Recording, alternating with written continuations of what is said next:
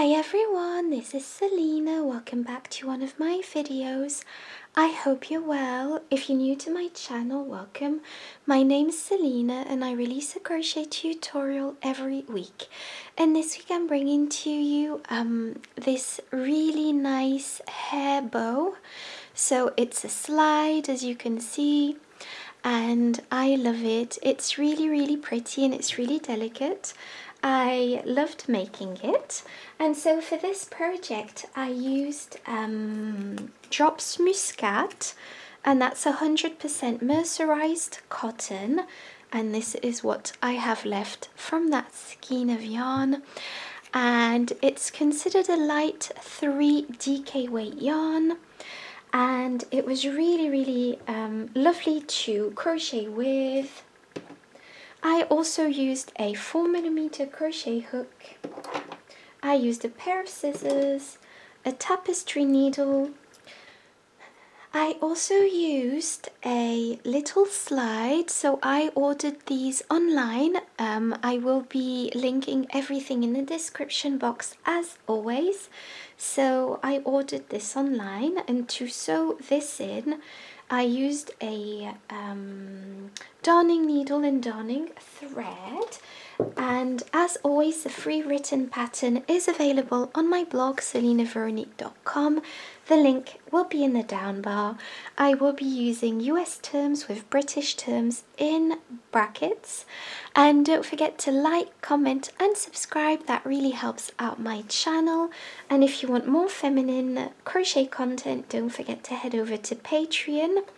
The link is in the down bar for the members only app and it's really really lovely. So many people are joining and it's a really nice community so um, check that out. So to begin this tutorial you will be taking your yarn and you will be making a slip knot. So just go ahead and make a slip knot. Pop your hook through and tighten and what we are going to be doing now is chaining 45 in the round. So I'm just going to show you my um, my technique on how to do this. So you are going to be chaining um, one, two, three, four. And now that you've chained four, you are going to take your hook out and pop it through the first chain that we did. So this is the first chain and then pop your hook back into the last chain. And now we are going to carry on um, counting our chains and chaining. And this will um, create a circle chain into which we are going to be working. And it just avoids um, twisting the chain so now, so we've counted four, now five, six, seven, eight, and just carry on until you have 45 chains in total, and then I'll get back to you. So I've chained less as you can see because this um, the first few um, rounds I'm going to show you with a sample but the principle is the exact same. So as you can see I've chained so you should have 45 chains in total. And once you have 45 chains in total just slip stitch through that first chain um, on the hook and now we are going to start um, creating our first round. So to create your first round, chain two, one and two, and this counts as your first half double crochet. And now we are going to go directly into the next stitch with a half double crochet. So to create your half double crochet, wrap your yarn around your hook, go into that chain, pull up a loop. So you have three loops on your hook. Take your yarn and pull through all three loops, and that creates a half double crochet. And now you are going to be placing a half double crochet into the next chain. And into the next chain and just place a half double crochet into each and every chain across until you reach the end of um, this chain and then I'll show you what to do then. Okay, so now um, you should have more stitches than I, but the principle is the exact same. So I've placed a half double crochet all the way across and now I'm simply going to be slip stitching through the chain two from the beginning to close off this round like so. So now we are going to be doing row two, so one and two, and that chain two that we've just done counts as a half double crochet. And you are going to go directly into the next stitch with a half double crochet and into the next stitch with a half double crochet and just go all the way around once again with a half double crochet until you reach the end of this round where you will be slip stitching um, like we just did. So I'm just going to let you carry this on. So just finish this round of half double crochet and slip stitch to close off the round. And repeat this round until you have, so this is what I've done for now, until you have 10 rounds in total. So you should have 10 rounds in total of half double crochets. So just go ahead and repeat round two until you have 10 rounds in total and then I'll show you what to do then. Okay, so now that we've completed um, all these rounds, we are going to be doing um, our rounds of um, the last round, which will be the chain arc edging. So to do this chain arc edging, you are so you've not fastened off. We've just slip stitched to finish off this last round and to do your chain arc edging you are going to be chaining three one two and three and you are going to be skipping one stitch and going into the next with a single crochet. So to single crochet you are going to pop your hook directly into the stitch. Pull up a loop. You have two loops on your hook. Take your yarn and pull through two loops. And that creates a single crochet. Now chain three, one, two, and three, skip a stitch and go into the next with a single crochet. Chain three, one, two, and three, skip a stitch and go into the next with a single crochet. Chain three, one, two, and three, skip a stitch and go into the next with a single crochet, chain three, one, two, and three, skip a stitch and go into the next with a single crochet and just carry on this um, pattern until you reach the end of this round and then I'll show you what to do then. Okay, so I've gone all the way around. Please um, ignore this loose end. I had to attach a new piece of yarn as I went. So I've chained three here. We're going to skip this stitch and go into the last and also first stitch and place a single crochet into this last stitch here like so. Okay, and this creates our um, first, well, our last round. So I'm going to fasten off, but I've, here are my scissors. So I'm just going to fasten off like this and pull your yarn through like so and this is what we have so I'm going to be um, fastening in these loose ends in a, a, moment, but I just want to show you the other side. So just repeat the chain arc edging on the other side. Obviously you want to attach your yarn. So there is no um, specific stitch into which you need to attach your yarn, but I am going to be attaching my yarn on the stitch where we fastened off where there's already a loose end as you can see or the stitch next to that just because it might look a bit neater but that you don't have to do this. So I fastened on my yarn pop your hook through and chain three. One two and three.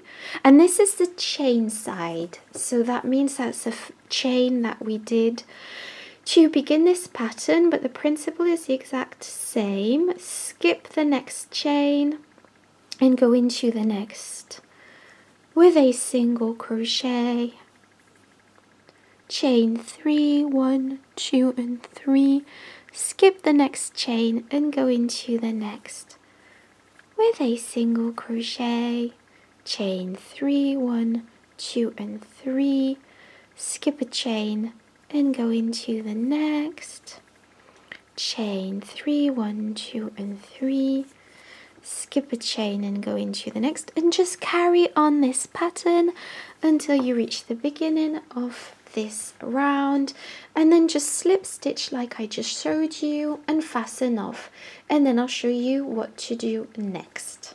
Okay, so now for this part, we are going to be creating the center, well not the center, but the bow shape. And as you can see, I've already taken my yarn and loosely tied it around um, the project. And we are going to be gently, so I've centered this and we are going to be gently giving this um, part uh, um, its shape. So I'm going to be doing this off camera because it's it's a bit tricky but basically you are going to be scrunching it up as you attach the yarn. So I hope this is making sense, but just give it the shape that you want and straighten it out and just tighten this, not too much, but do tighten it quite a bit, probably about this much, so that there's probably about an inch and a half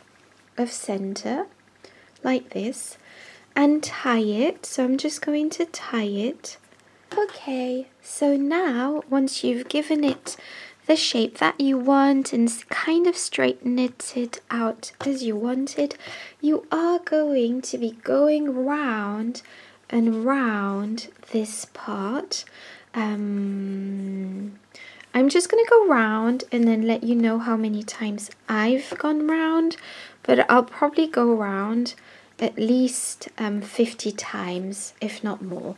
So just go round and round and I'll be popping on the screen how many times I've gone round this part and let you know. Okay, so I've gone all the way around 50 times and now you are going to be fastening off like so. And I'm just going to finish off this part as you can see by gently um, attaching this like that. And I'm probably going to be hiding this knot. And I'm just going to hide these two um, loose ends inside the project. Okay, now for the next part. So obviously this is what we have now. I love um, how this bow looks. It's so pretty and dainty. And now we are going to be making the um, this part here. Okay, so for this part of the project, you are going to be slip stitching. So just go ahead and slip stitch, pop your hook through and tighten. And now you are going to be chaining five. So just go ahead and chain five. One, two, three, four, four and five and now that you've chained five, you are going to be placing a half double crochet. I'm just going to zoom in a tiny bit. So you are going to be placing a half double crochet into the third chain from the hook. So one, two, three, and place a half double crochet into that third chain from the hook. There we go. Place your half double crochet into that. And now place a half double crochet into the next stitch. So just go ahead and place a half double crochet into the next stitch. And into the next stitch like so. There we go. So this is what we have.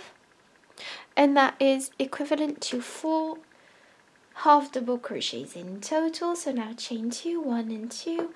Turn your work and this counts as your first half double crochet? With this first stitch so go directly into the second stitch with a half double crochet. And into the next stitch with a half double crochet. Obviously this is a tiny project so it's hard to film on camera. So a half double crochet into the next stitch and into the last stitch which is the chain two from the previous row. And just continue um, row two so just repeat row two until you reach um, until you have 39 rows in total so chain two this counts as your first half double crochet. Go into the next stitch with a half double crochet. And into the next stitch with a half double crochet. So like I said just repeat row 2 until you have 39 rows in total and then I'll show you what to do then. So this is what I have for now. And now to um, to do the next part what we are going to be doing is placing. So let me just move this slightly and zoom.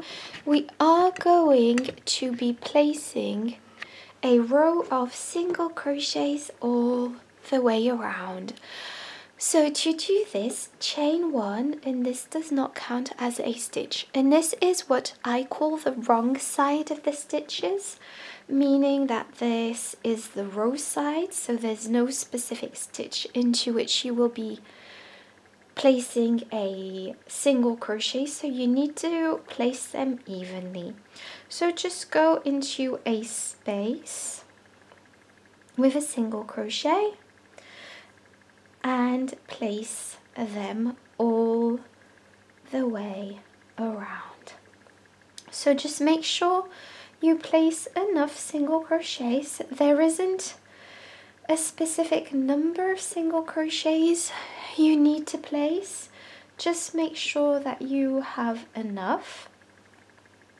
So just go all the way around and once you've done that, um, so just go all the way around and all everywhere down this side and then up again and then up this side and then I'll show you how to finish off this round. Okay, so now I'm, so we finished round one as you can see and to finish off round one I am going to be slip stitching through the first single crochet that we did.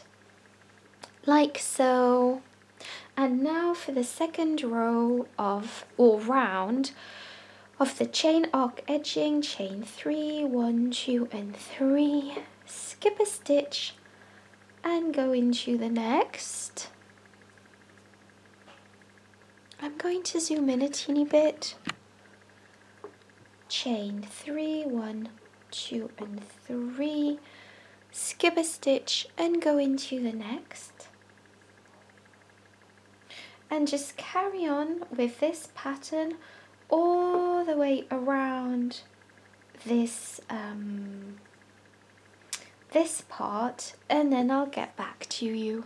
Okay, so I've almost finished this round and so to finish off this round I'm simply going to be chaining three, one, two and three and placing my last single crochet in the stitch here like so. And I'm just going to be fastening off. And there we go. I'm going to sew in this loose end and then I'll show you um, what to do after that okay so now that we have our two parts we are going to be sewing these together so you are going to be choosing a front and a back for this bow. So let's see. Um, so just choose whichever. This is the back for me. So I've turned it so the back is facing me. And um, place this um, this part like this. So I folded it in half as you can see and I'm going to place it um, slightly askew like that as you can see. So it's straight here but these parts are a bit um, like this and I've kind of placed it in the middle. So this is in the middle um, it's centered so now I'm just going to attach my yarn so just go ahead and attach a piece of yarn with which you are going to be sewing like this. Let me just zoom in. And now we are simply going to be sewing this across. Um, you can use sewing pins if you wish. Um, I don't use sewing pins simply because I don't need them. Um, however, um, you are more than welcome to use sewing pins if you do need them. Um, if they help you, I know I always need sewing pins um, if I'm sewing fabric. However, um, with yarn, I don't need them. So there we go. So as you can see, I'm kind of sewing this project in as best I can. Obviously in this part there's no stitches so just go across and then just sew as best you can. I'm sewing just the top here so that's all I will be sewing. So just go ahead and sew this part now and then I'll get back to you. Okay, so I finished sewing um, that part in and now I'm going to be sewing in the slide. So um, I'm going to pop it just above what we've just sewn this part, so just above the seam. And I've got my darning thread and needle and I'm simply going to sew each side in. So I'm just going to create a knot obviously to begin with and I'm just going to delicately sew this in. And um, so my slide is slightly smaller than what I would want but it's fine. Um, when I ordered them online I thought that um, they would be bigger somehow but it's fine. It's completely fine.